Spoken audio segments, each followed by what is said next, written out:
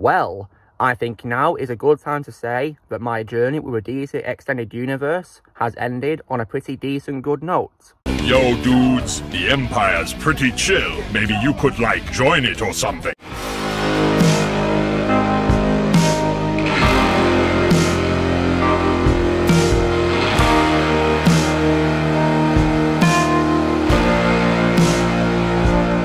Everyone, Lukimus Prime here, so it's time for another review in the DC Extended Universe of reviews I'm doing, and this will be the last one I'm ever going to watch, guys, in the history of the movies they're doing, and this film, of course, which I saw today, as you've seen by the title and the thumbnail, is, of course, none other than 2023's Shazam Fury of the Gods, and this is, of course, the sequel to the 29 movie, 19 movie Shazam, so... So you got you guys will, will recall that I absolutely love the first Shazam movie. It's one of my favourites in the DC Extended Universe of all time. Just absolutely amazing movie. And it definitely deserved this sequel, which is why I gave it a watch. Because, as you guys may know, due to the DC Universe now being rebooted, and also due to, of course, Henry Cavill, who plays Superman, of course, being being booted out of the DCU, despite returning in Black Adam, that made me completely lose interest in the DC Universe and this, this was going to be my last film I'll be seeing in the DC Universe's live-action movies in the extended universe, of course. So, how was this movie made, guys? So, so, so following the success of the first movie, a sequel began in development, and, and with Henry Gayden and returning as writer, and also um, David F. Sandberg and Zachary Levi, who play Shazam, also set to return as well. Oh, oh. And the rest of the cast was also confirmed in August 2020, alongside the title of Fury of the Gods. And, of course, the, the villains were formed of the daughters of, of Atlas, and they were revealed in early 2021. Filming began in May in Atlanta, Georgia in 2021 and concluded in that August. The film, of course, premiered at the Fox Village Theatre in West Los Angeles on March 14th, so yeah, three days before today. And, of course, was, was released today, theatrically on March 17, St. Patrick's Day. So yeah, the film of course has received mixed reviews so far, who've praised its humour but criticised the direction. So, when it comes to my reaction to this film, guys, so I, of course, have just seen the film today at the cinema on the day it opened, and so, before I delve into spoilers, guys, I will say that, in my opinion, this film was good. Yeah, I think it was good, but I will say decently good, but, I mean, it may not may not have been, you know, as good in my opinion as the first movie, so I still prefer first movie, in my opinion. So yeah. The sequel, all that I just saw today, was still good, but personally, guys, I do prefer the first movie. So, now I'm going to delve into, into spoilers by talking about the plot and what I thought of the plot, guys. So, so I'm, I'm, going to give it the countdown from 5 to 0. So, if you guys have not seen it, I'd recommend to see it in theatres if you want to watch it before you see this review. So, yeah, here we go. So, five, four, three, two one, zero. Okay, so now the film begins, of course, um, in Athens, um, where there's like, of course, a museum at the Acropolis, and we see, of course, two of these daughters of Atlas, which of course, um, Hespera and Calypso, and they, they go there to steal the broken staff of, of the wizard, which, of course, if you guys have seen the first movie, you, will be aware, of course, that Shazam broke it at the end of the movie. And and of course they take it. And then of course um, we then get as well um, a pretty funny scene where we see Shazam in like some sort of like um, psychi psychiatrist room or something. That was a pretty funny scene to introduce him. And we then get to see of course um, him and his siblings in action as they're, they're saving people on, on a collapsing bridge. But unfortunately despite saving everyone the, bridge does collapse. And unfortunately the news is making out, out that um, they're being called out for destruction and at the and family home, everyone is drifting apart due to them growing older and having personal interests. And of course, Billy is also worried about, about being kicked out of the Vasquez family because he's turning 18 and aging out of a fostering system. And then, then, however, though, when it comes to, to the, the, the daughters of Atlas, guys, there's a pretty weird scene, though, where they take it to, like, a, a big, like, sort of, like, lair thing, like, a, and, um, it was very well designed, though, in my opinion, the lair. But what's weird is they have Wizard in prison. So, like, didn't he he die in this movie? So, like, and they don't even explain how he came back because in the first movie, after Shazam got his powers from the Wizard, the Wizard crumbled to dust, died. So, how is he back in this movie? It doesn't make any sense. So that was really confusing how, how he came back in this. It was didn't didn't make sense how Wizard came back. I was really you, you know can I, I don't really like that at all really. So it doesn't make sense how Wizard came back, and it didn't explain how he came back either. So although Djimon Hounsou still played him very well, though, in my opinion, despite, you know, not having a good, good, direction, because, yeah, it didn't make sense how Wizard came back despite dying in the first Shazam movie. Now, then after this, when he's imprisoned, he then sends out a, a message to Billy. Um, some sort of like message, it's like a telepathic message, and we get a scene where Billy's having like a dream, where he's having like a meal in Paris with Wonder Woman, and yeah, and what's weird is we don't see her face in this scene, but I'm pretty sure that was definitely Gal Gadot, of course, and I'll get to her, of course, when I'm talking about the end of the movie. And what's weird is, his face appears on her, the wizard, so like, okay, that was a bit weird, but he of course warns Billy about, about the daughter as of Atlas, and so Billy and, and the siblings then do their research on, on the daughters, and the siblings are still their usual likable selves in this movie. They were very great in the first movie, and they were good in this movie once again. And now, meanwhile, when it comes to Freddy, he's unfortunately bullied at school by some un unlikable bullies, and he then meets a girl, uh, a new girl called Anne, and and they bond together and develop a relationship, and then on the rooftop of a school, wall he then shows off his superhero self. But unfortunately, Hespera and Calypso arrive with the staff, and they use it on Freddy, which, which of course takes away his powers. And it's revealed that Anne is their youngest sister, Anthea. So, yeah, that was a, that was a, a decent twist, but I think it could have executed a bit better, really. It came out of nowhere, really. And Billy and his siblings went arrive to save Freddy, but the daughter has kidnapped him, and then they put like a big dome around the city, about around Philadelphia, so it traps the family and the city's residents in there. And then Freddy is imprisoned along with a wizard in in in um, the kingdom, of course, in that big like lair place. And the daughters of Atlas want revenge because apparently the wizard has killed Atlas the Titan. So, the family then, of course, goes to a Rock of Eternity. And the, and it's revealed, of course, that um, that um, the one called um, Pedro Pena, um, he has like a library in the Rock of Eternity. And, he, and then they, they enter this library and they encounter a magic pen, which he nicknames Steve. and they use it to, to make a letter to Hespera calling for a deal for Freddy and the staff, so... Now, meanwhile, however, though, um, the Wizard and, and Freddy, of course, do manage to um, to break out because Anthea helps them get out because because um, she, you know, you know, appreciates Freddy helping her um, when she got bullied in, in, at the school. So, Billy then meets Hespera at a hamburger joint where she admits that her father was a tyrant and that his family stole all the powers of the gods. Then, however, the family of, of, of the siblings arrive, but then so does, does Hespera's siblings, and which is a Calypso, of course, and um, they fight. Unfortunately, Pedro's powers get taken, sadly, from the staff, and Hespera is then defeated and brought to a lair after after a fight with, with the with the siblings.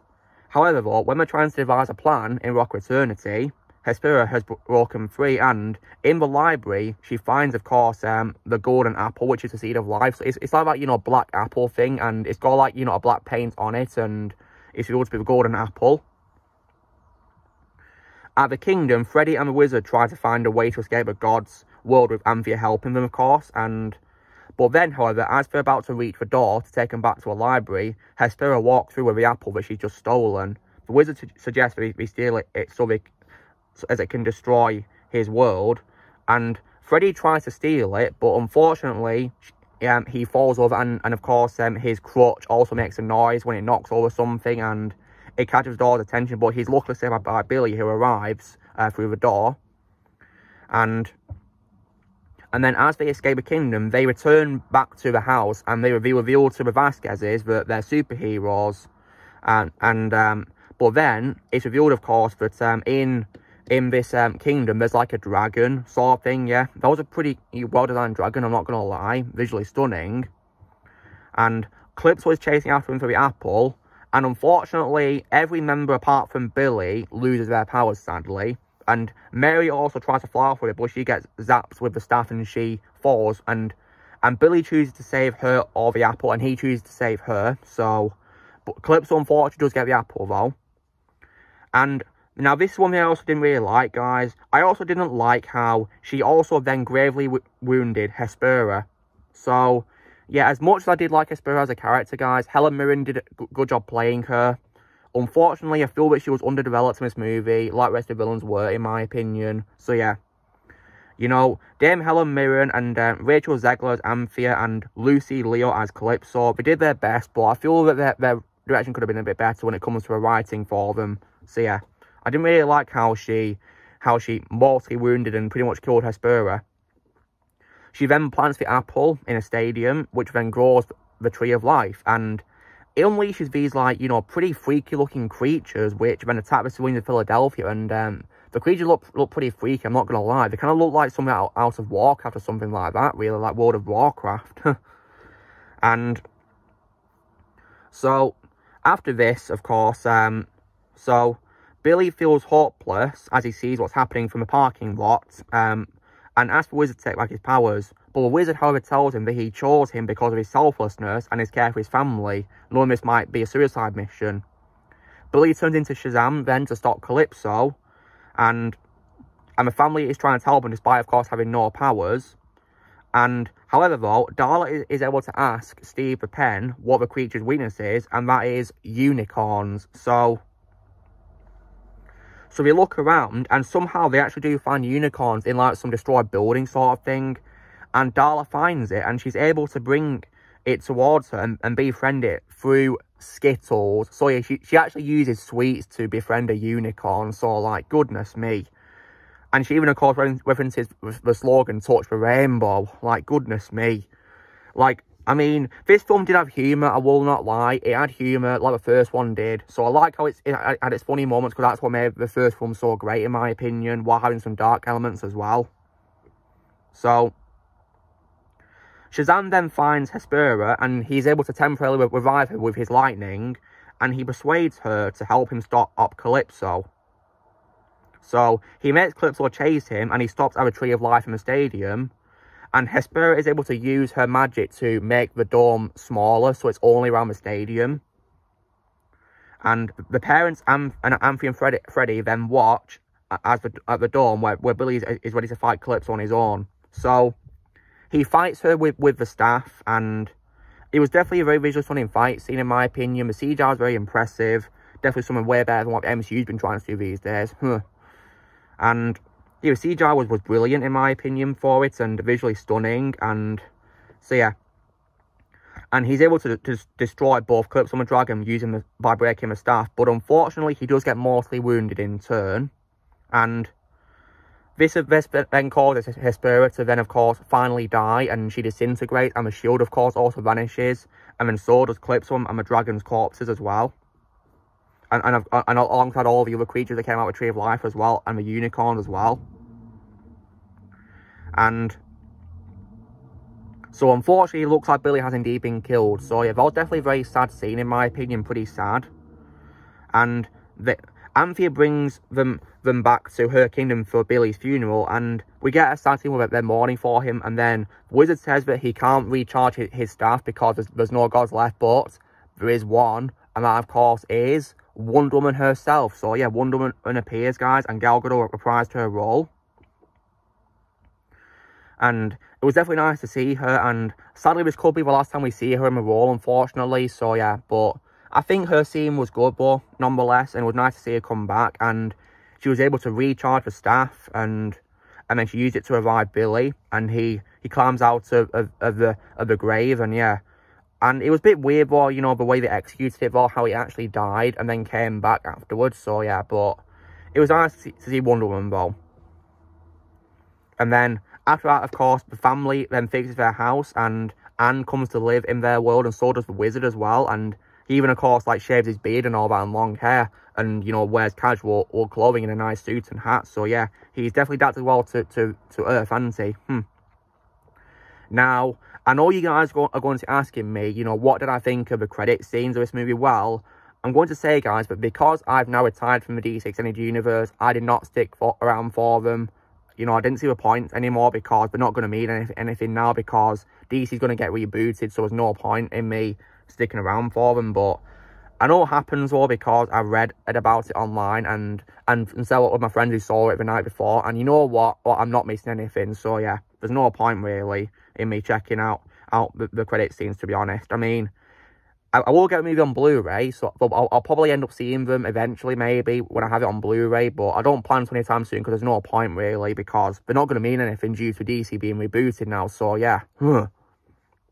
now, so that's a movie. Now, I thought it was good, pretty decent movie, in my opinion, a nice way for me to end my journey with DCU, but I still, however, do prefer the first movie of, of Shazam, though, that's my opinion, so, and reason why is because, so, so I've already said they didn't make any sense how the wizard came back alive and despite having died in the first movie. And, and, they didn't even explain how he came back, considering he, he crumbled to dust in the first movie. It was very confusing. And also, as well, um, I think the villains need a bit better development as well as characters too.